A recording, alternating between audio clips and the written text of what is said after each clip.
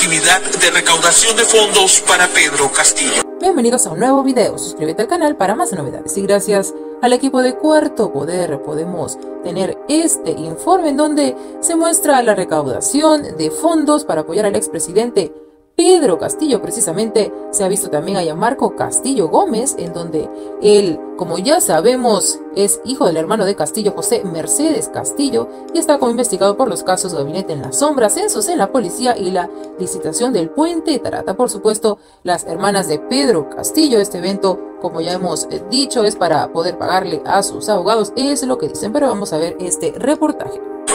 La tarjeta de invitación a la que accedimos dice Gran Mega Evento Cultural Regional que organiza la familia Castillo Terrones y las bases del Cono Norte. Lugar, local campestre La Matarina en Puente Piedra. Fecha, sábado 26 de agosto al mediodía. Chicharrones a 30 soles y tarjeta aceptada, tarjeta pagada. Como aceptamos la tarjeta, decidimos ir a pagarla. En la puerta están atentos hombres contratados como seguridad con un chaleco que advierte que son de las rondas campesinas. En el primer bloque nos piden pagar la entrada por persona.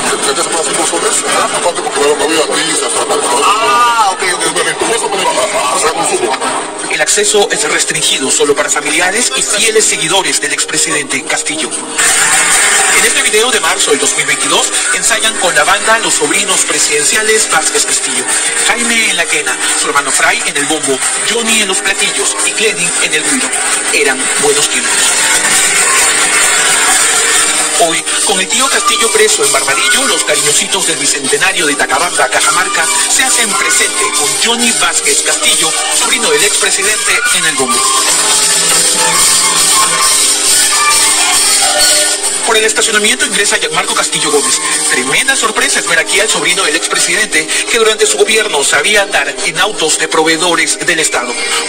Hoy, Gianmarco, hijo del hermano de Castillo, José Mercedes Castillo, está como investigado por los casos Gabinete en la Sombra, ascensos en la policía y la ilegal licitación del puente Tarata. Por Puente Tarata, este sobrino presidencial enfrenta cargos por presunta colusión y organización criminal. Para no ser capturado, se fue a la clandestinidad en marzo de 2022. Gianmarco hace la cola para pagar y consumir el cuy que está preparando metros más allá su tía Gloria Castillo Terrones en la cocina. Gloria ha sido involucrada en el caso de sobornos de Sara Goray y Marcamú. Según un colaborador eficaz, a la hermana presidencial Gloria le una tajada de los sobornos por más de medio millón de soles en efectivo, partidos en cuotas para ella y sus hermanos. Con los ánimos distendidos, la llamada prensa alternativa cuelga en redes un video que se convertirá en evidencia para la fiscalía.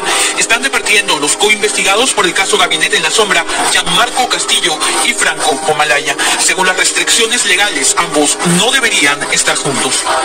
Simplemente no se están acatando las disposiciones que ha dado un judicial para resguardar la investigación y por tanto hay un riesgo de entorpecimiento de la investigación. Y cuando eso se presenta, claramente procede en la medida de prisión preventiva. Fray está fugitivo, pero su hermano Cledin se hace presente. Sobre Cledin también hay registro fiscal. El ex asesor ministerial Salatiel Marrufo ha confesado que le entregó un millón y medio de soles para sobornar a jueces y lograr así la libertad de su hermano Fray y de su primo Gianmarco. Según el colaborador eficaz, Cledin recibió el millón y medio proveniente de los pagos ilegales de Sana Goray. En la cocina, al lado de Gloria Castillo Terrones, está Irma, también hermana del exmandatario. Junto a sus tías encontramos a Vilma Vázquez Castillo, también despachando. La sobrina más activa de Pedro Castillo es hermana de Fray y Cledin.